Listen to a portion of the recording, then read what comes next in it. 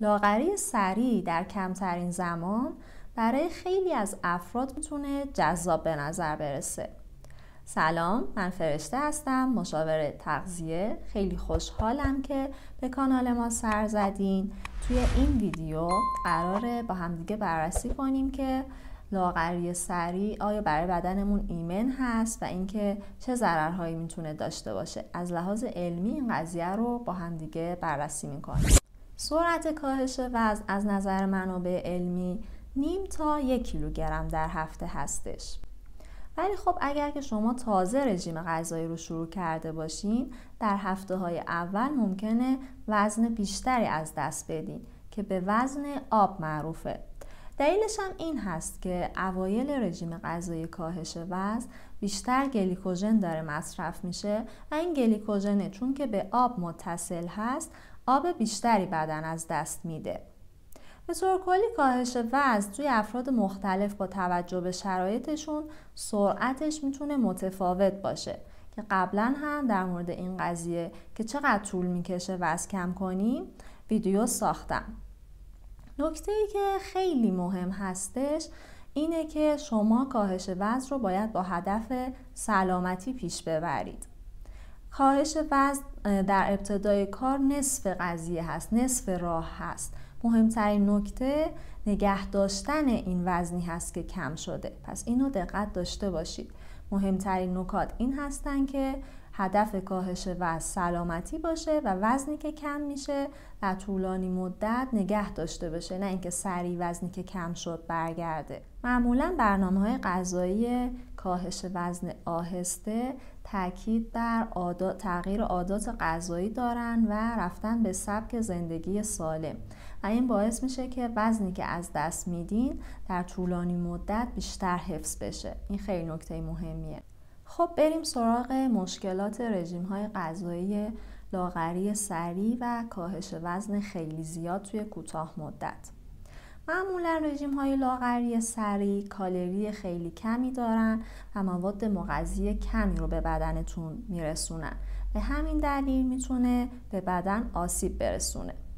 اولین مشکلی که ایجاد می‌کنه از دست دادن ازوله هستش. شما در طول کاهش وزن همش چربی از دست نمی‌دید. اگر که رژیمتون غیر اصولی باشه بیشتر وزنی که از دست میره از ازوله هست. و اینو همیشه یادتون باشه ازولات توی بدن ما گنج هستن و باید ازشون محافظت کنیم که از دست نرن تا جایی که میشه. دومین مشکل رژیم های لاغری سریع کاهش متابولیسم هستش. با این رژیم ها متابولیسم بدن کم میشه یعنی اینکه شما در طول روز کالری کمتری میسوزونید. علتش هم می‌تونه یکی همون از دست دادن عضلات باشه و مورد دیگه اثر گذاشتنشون روی هورمون ها مثلا هورمون تیروئید. نکته که خیلی مهمه اینه که متاسفانه بعد از اتمام این رژیم های غیر اصولی این رژیم های لاغری سریع هم این کاهش متابولیسم تا مدت ها ادامه پیدا می‌کنه و این خیلی برای بدن بده. اگر که شما دائم کالری کمی دریافت می‌کنید در معرض کمبود مواد مغذی مختلف هم هستید. این کمبود مواد مغذی مشکلاتی رو می‌تونه برای بدن ایجاد کنه که الان بهتون میگم. مورد اولش ریزش مو هست. وقتی که رژیم غذایی شما مواد غذایی مورد نیاز برای, برای رشد مو رو نداشته باشه خب ریزش مو اتفاق میفته مورد بعدی احساس خستگی مفرد هستش. وقتی که مواد مغذی کم باشه مثل آهن، فولاد، به دوازده باعث میشه شما دائم احساس خستگی کنید و حتی کمخونی ها براتون اتفاق بیفته. مشکل بعدی که ایجاد میشه تضعیف سیستم ایمنی هستش. کمبود مواد مغذی روی سیستم ایمنی اثر می‌ذاره و باعث میشه که شما زودتر به عفونت ها مبتلا بشید. مورد بعد که در اثر کمبود مواد مغذی ایجاد میشه ایجاد استخوان ضعیف و شکننده هستش کمبود کلسیوم، فسفر، ویتامین دی توی رژیم های غذایی خیلی کم کالری می‌تونه روی استخوان های شما اثر منفی بذاره. قبل از اینکه بریم سراغ آرزه بعدی رژیم لاغری سریع حتما این ویدیو رو لایک کن اگه هنوز کانال ما رو subscribe نکردی subscribe رو هم انجام بده.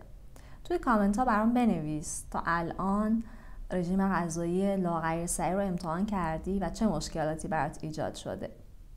خب مورد بعدی که رژیم های لاغری سریع ایجاد می‌کنن می‌تونه ایجاد سنگ کیسه صفرا باشه. وقتی که غذای کمی دریافت میشه شیره های گوارشی هم کمتر آزاد میشن.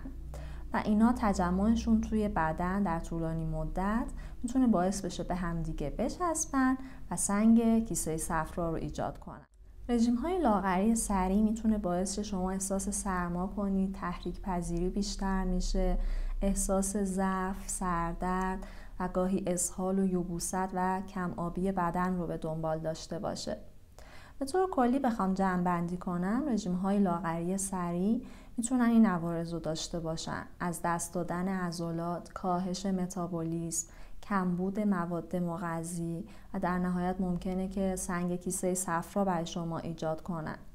اگه دنبال این هستید که یک راه علمی رو در پیش بگیرید برای کاهش وزن بهتره که همون عدد نیم تا یک کیلوگرم در هفته رو در نظر داشته باشید. هدفتون سلامتی باشه.